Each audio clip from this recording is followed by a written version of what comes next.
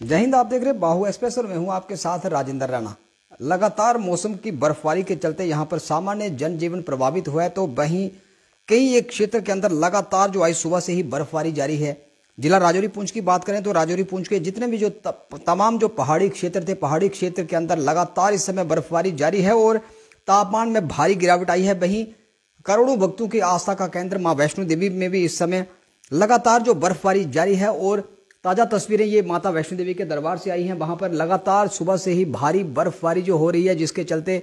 जितने भी जो यात्रु हैं, उनको कहीं ना कहीं यात्रा के दौरान जो असुविधा का सामना करना पड़ रहा है। और राजौरी पुंछ के तमाम क्षेत्र की अगर हम बात करें तो तमाम क्षेत्र इस समय बर्फबारी में डूबे हुए हैं और लगातार वहाँ से जो तस्वीरें वहाँ पर वायरल हो रही हैं, लगातार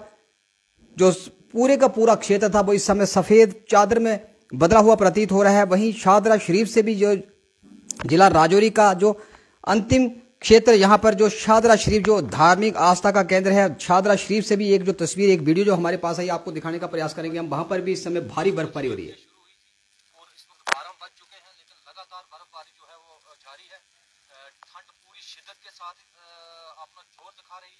ठीक कि पिछले 12-13 साल का रिकॉर्ड इस बार बर्फ़ ने तोड़ा लेकिन महकमा मौसमियात की तरफ़ से तो पहले ही अलर्ट जारी कर दिया गया था कि भारी बर्फ़ बारिश और बर्फ़ भारी बर्फबारी होगी। लेकिन इस बार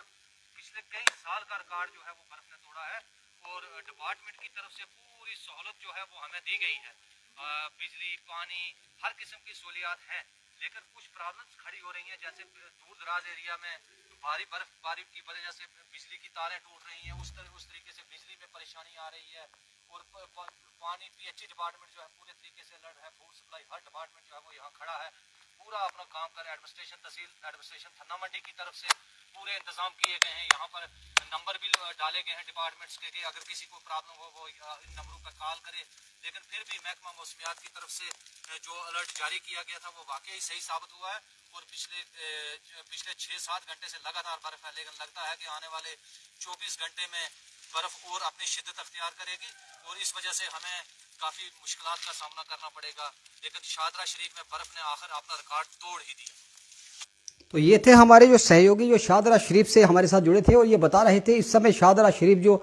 करोड़ों भक्तों की जो आस्था का केंद्र है, वहाँ पर भी इस समय जो सफ़ेद चादर है, वो बर्फ़ ने अपनी सफ़ेद चादर में जो शादरा शरीफ का जो धाम था, उसे डक दिया है और लगातार वहाँ से जो तस्वीरें वायरल हो रही हैं लगातार वहाँ से वीडियो क्लिप्स जो हमारे पास आ रहे हैं उसमें बताया जा रहा है कि पिछले लगभग 12 वर्षों से बारी बर्फबारी जो इस बार जो रिकॉर्ड पिछले 12 वर्षों का रिकॉर्ड टूटा है और इस साल की जो बर्फबारी है पिछले 12 वर्षों से सबसे अधिक बर्फबारी हुई है। वहीं राजौरी शहर से भी एक तस्वीर आ रही है कि राजौरी शहर के कुछ ही दूरी पर भी इस समय बर्फबारी का वहाँ पर एक दृश्य देख, देखने को मिला। नज़ारा जो था राजौरी शहर मुख्यालय से मात्र कुछ ही दूरी पर भी वहाँ पर भी बर्फ़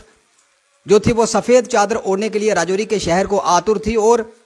बर्फबारी के दृश्य वहाँ पर भी देखे गए लगातार पहाड़ी क्षेत्र के अंदर इस समय बर्फबारी जारी है और मौसम विभाग के अनुसार आज शाम तक जो थी, जो भारी बारिश जम्मू कश्मीर के अंदर लगातार हो रही है, लेकिन जितने भी जो राजौरी पुंछ के जो पहाड़ी क्षेत्र हैं, वहाँ से जितने भी जो हमारे साथ जो जुड़ रहे हैं, हमें जो बता रहे हैं, वो बता रहे हैं कि लगातार जो बर्फबारी बीते 12 से 13 वर्षों में सबसे अधिक बर्फबारी हुई है और आशंका अनुमान ये जताया जा रहा है कि आने वाले कुछ एक और दिनों के अंदर भी जो बर्फबारी जारी रहेगी, क्योंकि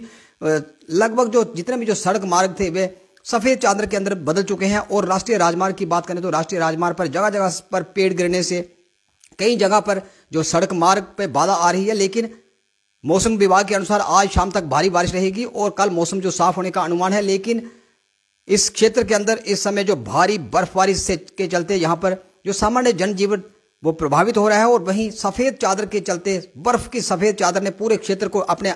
आगोश में ले लिया है और तापमान में भारी गिरावट आई है। जैसे ही कोई बड़ी अपडेट मौसम विभाग को लेकर हमारे पास आएगी, तमाम दर्शकों तक पहुँचाने के लिए आपसे फिर मिलेंगे। फ़िलहाल आप जुड़े रहे बाहु वीडियो जर्नलिस्ट सचिन राणा के साथ। बाहु के लिए मैं राजेंद्र राणा।